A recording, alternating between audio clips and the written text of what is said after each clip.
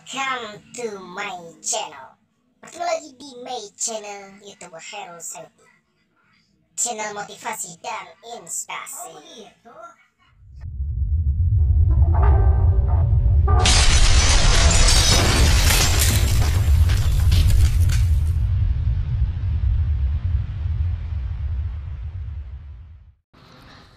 Assalamualaikum warahmatullahi wabarakatuh Welcome to my channel. Bertemu lagi di my channel YouTube Hairul Sayuti. Channel yang memberikan motivasi dan inspirasi. Kisah sukses perjuangan pendiri Facebook. Mark Zuckerberg umurnya masih muda Namun ia dikenal sebagai pemuda terkaya. Di dunia berkat Facebook Mark Zuckerberg dikenal sebagai penemu atau pendiri dan Facebook sebuah jejaring sosial terpopuler.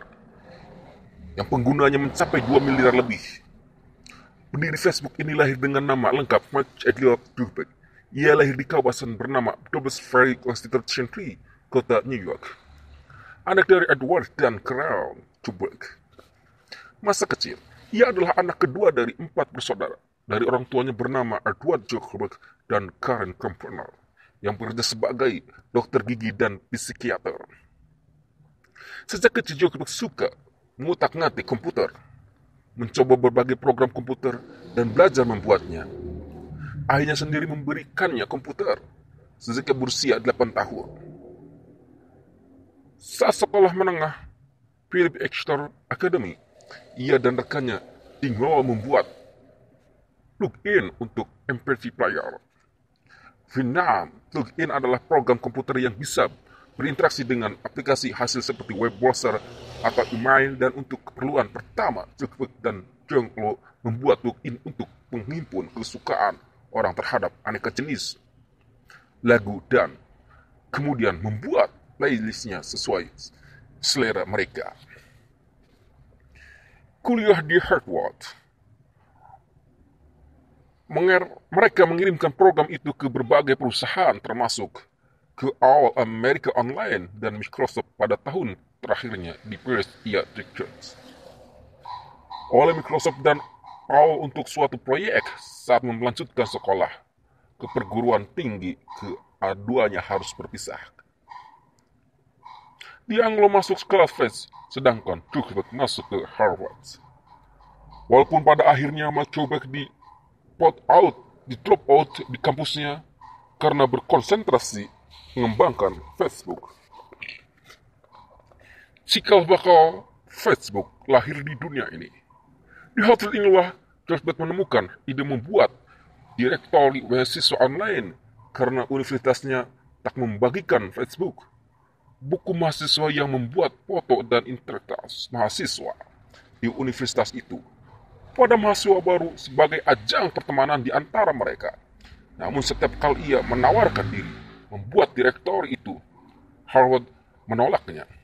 Mereka mengatakan punya alasan untuk tak mengumpulkan informasi mahasiswa ini, ujar Zuckerberg kemudian. Meski ditolak, ia selalu mencari cara untuk mewujudkannya. Saya ingin mewujudkan kalau itu, itu bisa dilakukan selanjutnya soal ke motornya. Zuckerberg memang ngotot membuat direktor itu. Proyek pertamanya adalah Coskemet www.constemet.com yang dimungkinkan teman-teman sekelasnya berkomunikasi satu sama lain di website tersebut. Suatu malam di tahun kedua, ia kuliah di Harvard cukup menyambut data mahasiswa Harvard dan memasukkannya ke dalam website yang ia buat bernama sejumlah foto mahasiswanya terpasang di situ. Tak ia membuatkan kalimat yang memintanya mengunjungnya. Menentukan mana dari foto-foto ini yang paling hard. Pancingannya mengena dalam tempo 4 jam sejak ia melancar tersebut. 450 orang pengunjungnya flash smash dan sebanyak 22 ribu foto mereka buka pihak Harvard mengetahuinya. Dan hubungan internet pun diputus.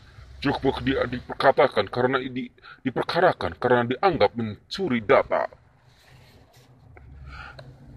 Anak muda berambut keriting ini pun meminta maaf pada rekan-rekan yang fotonya masuk di Fatselets.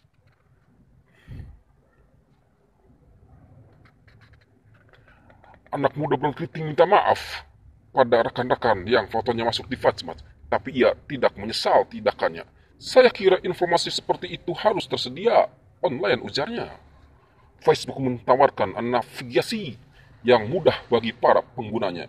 Setiap pemilik akun punya ruang untuk memajang fotonya. Teman-temannya network dan melakukan hal lainnya seperti bisa berkirim pesan dan lain sebagainya. Mendirikan Facebook, alih-alih kapok ia malah membuat website baru dengan nama Facebook www.facebook.com. Website ini ia luncurkan pada Februari 2004. Facebook merupakan penyempurnaan dari FaceMatch. Sasarannya tetap sebagai tempat pertemanan sesama mahasiswa Harvard. Dalam penjelasannya di websitenya, sekarang disebutkan bahwa Facebook adalah suatu alat sosial untuk membantu orang berkomunikasi. Lebih efisiennya dengan rekan, keluarga, atau rekan kerjanya. Banyak aplikasi yang bisa digunakan oleh anggotanya membuat Facebook digandrungi banyak orang. Konon hingga saat ini, sudah lebih dari 20 ribu aplikasi dimasukkan ke dalam Facebook yang bisa digunakan para anggotanya.